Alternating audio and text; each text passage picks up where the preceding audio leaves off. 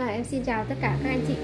Hôm nay em à, lại lên cái mẫu bếp ga Paloma Cái dòng phân khúc phổ thông nhé Con này là Paloma IC N36HS Đây là cái dòng à, mặt men.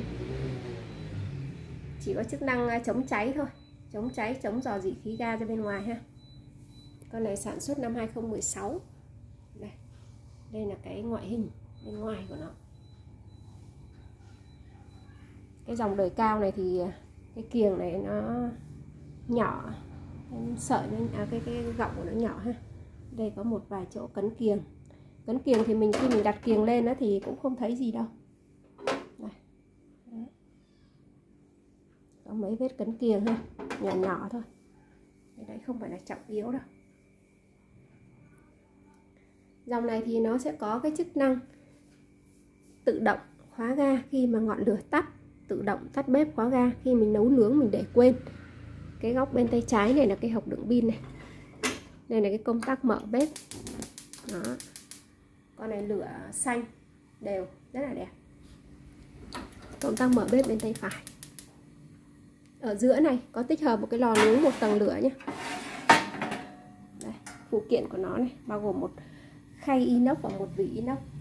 Đây là cái lò nướng này. lò nướng một tầng lửa góc bên tay phải này là cái công tắc mở bếp. Mở bếp lò nướng Đấy. một tầng lửa là nó chỉ có một tầng phía trên thôi. Khi mà các anh chị nướng thì mình sẽ điều chỉnh cái ngọn lửa này, to nhỏ về đây.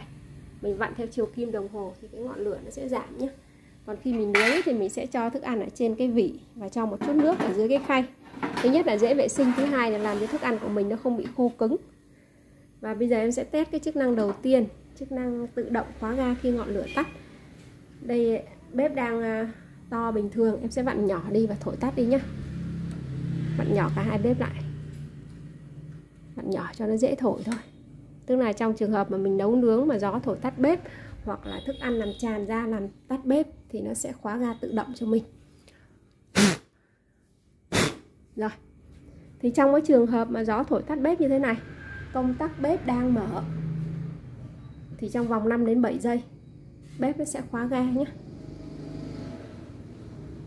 thì mình sẽ chờ một chút xíu ha tức là khi mà mình vừa tắt xong thì nó chưa khóa đâu. Nhưng mà đến 5 đến 7 giây thì nó sẽ ờ, nhận biết được là ngọn lửa tắt thì nó sẽ khóa ga bằng một cái van từ bên trong bếp. Đây. Con này nó không kêu nhưng nó sẽ chớp bằng cái đèn này. Cái đèn này, đèn tín hiệu nó báo là đã khóa ga rồi đấy. Thì các anh chị ờ, coi này. Công tắc bếp đang mở này. Nhưng mà khí ga đã được khóa hoàn toàn nhé em ờ, sẽ dùng một cái bật lửa để em kiểm tra đó châm lửa vào đây nó không nó không phực cháy nhá. Tức là ga đã khóa rồi. Bởi vì nếu như mà không khóa ga thì khi mà mình châm như thế nó sẽ cháy trở lại ngay. Rồi, chức năng này của bếp hoạt động rất là tốt nhé và đây sẽ dùng hai cái miếng tôn để test cái chức năng chống cháy nồi. Đây là cái ti cảm biến nhiệt này. cả hai bên đều có này. Thì mình sẽ đặt hai cái miếng tôn này lên và test cái chức năng chống cháy nồi cho mọi người coi thì cái chức năng này nó hoạt động dựa vào cái cảm biến nhiệt. Tức là khi mình đun nấu như thế này thì ở nhiệt độ 200 độ C lửa bắt đầu giảm nhỏ và tiếp tục cung cấp nhiệt lên đến 250 độ C. Bếp nó sẽ tự động tắt bếp và khóa ga tức là an toàn tuyệt đối. Trong các cái trường hợp mà mình nấu ờ, mình đun nước nước cạn nồi này, nó sẽ tắt bếp này. Và mình để quên nồi trên bếp thì ở nhiệt độ cao nó sẽ tắt bếp khóa ga cho mình. Rất là an toàn ha thì nhà mà có người lớn tuổi hoặc là những người mà nấu nướng mà hay quên thì các cái tính năng này là vô cùng an toàn luôn. Đó, cái bếp bên tay phải này, đủ 200 độ giảm nhỏ. Bếp bên tay trái cũng thế này, đạt 200 độ nó đã giảm nhỏ lửa rồi nhá, và tiếp tục tăng nhiệt lên 250 độ C thì nó sẽ tắt bếp cho mình, tắt bếp và khóa ga luôn, an toàn lắm. Đây là cái phân khúc phổ thông của bếp ga nội địa Nhật. Thì hàng nội địa Nhật này nó sẽ có cái ưu điểm. Thứ nhất là tiết kiệm ga, thứ hai là an toàn về cháy nổ. Thì những cái dòng như thế này là bếp mặt men này, chống chày, chống dính, rất là dễ vệ sinh nhá. Thì các anh chị nấu nướng mà mình à, làm văng thức ăn ra thì chỉ cần một cái khăn ướt thôi là mình có lau sạch rồi.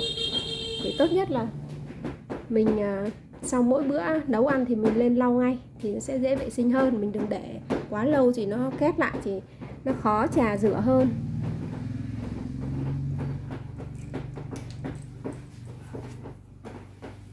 Cái dòng nút à, xoáy này thì mọi người sẽ dễ sử dụng nếu như nhà mà có người lớn tuổi thì ta sẽ dùng những cái bếp như thế này. Đây cái bếp bên tay trái này nó đạt 250 độ C nó đã tự động tắt bếp này. Đó, tắt bếp và nó sẽ khóa ga luôn nhé. Bếp bên tay phải này cũng thế này đó trong trường hợp này là tắt là nó sẽ khóa ga ngay luôn. Đây công tắc bếp đang mở này. Quá nhiệt độ nó tắt bếp thì nó khóa ga. Đây công ngay chỗ cái nút ờ, đèn thông báo này nó báo đỏ này. Đây em cũng lại dùng cái bật lửa để em kiểm tra nhé. Đó. Đây lửa cháy nhé. Bật lên nhưng mà ga nó đã được khóa hoàn toàn rồi nhá. Tính năng này của bếp hoạt động rất là tốt. Đây, dòng này nó đơn giản nó dễ dùng thì các anh chị mà mình có nhu cầu về bếp ga nội địa Nhật thì cứ liên hệ trực tiếp với em. Thì khi mình xem video thì mình nhớ cho em một đăng ký kênh một chia sẻ và một uh, bình luận nhé em xin cảm ơn các anh chị đã coi video ạ.